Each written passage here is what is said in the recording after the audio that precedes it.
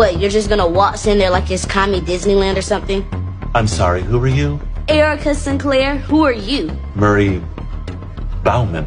Listen, Mr. Bauman, I'm not trying to tell you how to do things, but I've been down in that shithole for 24 hours. And with all due respect, you do what this man tells you, you're all gonna die.